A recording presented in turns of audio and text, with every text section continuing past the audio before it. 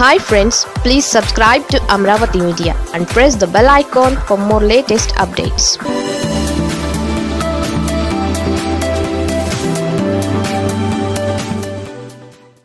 ఆసుపత్రి పాలైన ఎంపీ రఘురామ. అయినా వైసీపీని వదలకుండా విమర్శలు.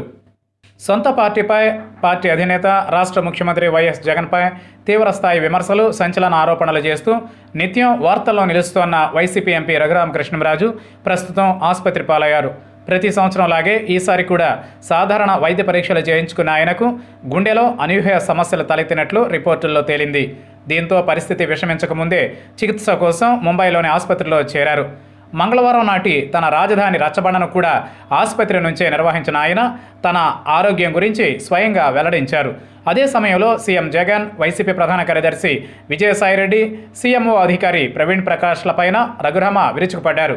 ఎంపీ ఏం చెప్పారో ఆయన మాటల్లోనే విన్నట్లయితే ప్రస్తుతం నేను ఆసుపత్రిలో చేరాను. నా ఆరోగ్య సమస్యలను వివరించబోయే ముందు ప్రజలు నా దృష్టికి తీసుకొస్తున్న రాష్ట్ర సమస్యలు వైసీపీలో అంతర్గత విభేదాలపై మాట్లాడతాను. ఏపీలో ప్రభుత్వ రేషన్ షాపుల ద్వారా అందిస్తోన్న సరుకులపై గతం నుంచే యాభై శాతం రాయితీ ఉంది. కానీ జగన్ సర్కార్ ఇప్పుడు చక్కెర కందిపప్పులపై రాయితీని ఇరవై ఐదు శాతానికి తగ్గించి ఖర్చును ఆదా చేసుకోవాలని చూస్తున్నారు. తక్కువ ధరకు సరుకులు ఇస్తూ ఉంటే జనం తిని కూర్చుంటున్నారని దానిని నివారించడానికే రాయితీలు తగ్గిస్తున్నారంటూ వైసీపీ శ్రేణులు ప్రచారం చేయడం దారుణం. మిగతా దుబారాను తగ్గించుకునైనా పేదలకు సాయం చేయాలి తప్ప సబ్సిడీలు ఎత్తివేయడం తగదు. గతంలో కనీసం అన్నా క్యాంటీన్ల ద్వారానైనా పేదల ఆకలి తీరేది. వాటిని మూసేశారు. మరి వైఎస్ఆర్ క్యాంటీన్లైనా తెరుస్తారా?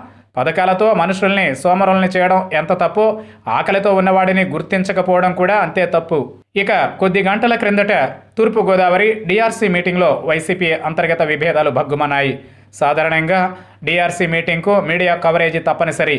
కానీ గలాట జరుగుతుందని ముందే తెలుసు కాబట్టే మా వాళ్ళు అక్కడికి మీడియాను రానియలేదు. ఒకప్పుడు వైఎస్ఆర్కు అత్యంత సన్నిహితుడిగా ప్రస్తుత వైసీపీ సీనియర్ నేతగా నిన్నటి వరకు డెప్యూటీ సీఎంగా ఇప్పుడు ఎంపీగా కొనసాగుతోన్న పిల్లి సుభాష్ చంద్రబోస్ ఆ మీటింగ్లో కొన్ని వాస్తవాలు మాట్లాడారు. దీంతో ఆయనపై వైరి వర్గం గొడవకు దిగింది. పార్టీలో నిజాయితీపరుడిగా బోస్కు పేరుంది. ఇలా నిజాలు మాట్లాడిన వాళ్ళపై దాడులు చేస్తుండడం అంతర్గత కలహాలు పెరిగిపోవడం అన్ని జిల్లాల్లోనూ కనిపిస్తోంది. పార్టీని చక్కదిద్దాల్సిన పెద్దలేమో? సొంత పార్టీలో సమస్యలను పక్కన పెట్టేసి వైసీపీ జాతీయ కార్యదర్శి విజయసాయిరెడ్డి ఇటీవల అనూహ్య వ్యాఖ్యలు చేశారు. తెలుగుదేశం జాతీయ పార్టీ అయి ఉండి దుబ్బాక ఉప ఎన్నికలో పోటీ చేయలేదని ఆయన ఎద్దేవా చేశారు. అయ్యా సాయిరెడ్డి గారు మన వైసీపీ కూడా జాతీయ పార్టీనే కదా. మీరు పార్టీకి జాతీయ ప్రధాన కార్యదర్శి కదా.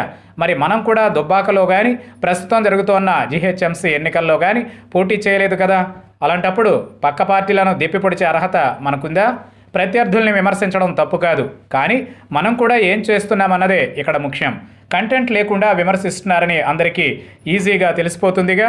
తెలంగాణలో పోటీపై వైసీపీ స్టాండ్ ఏంటని నెటిజన్లు మనను కూడా అడుగుతారు కదా.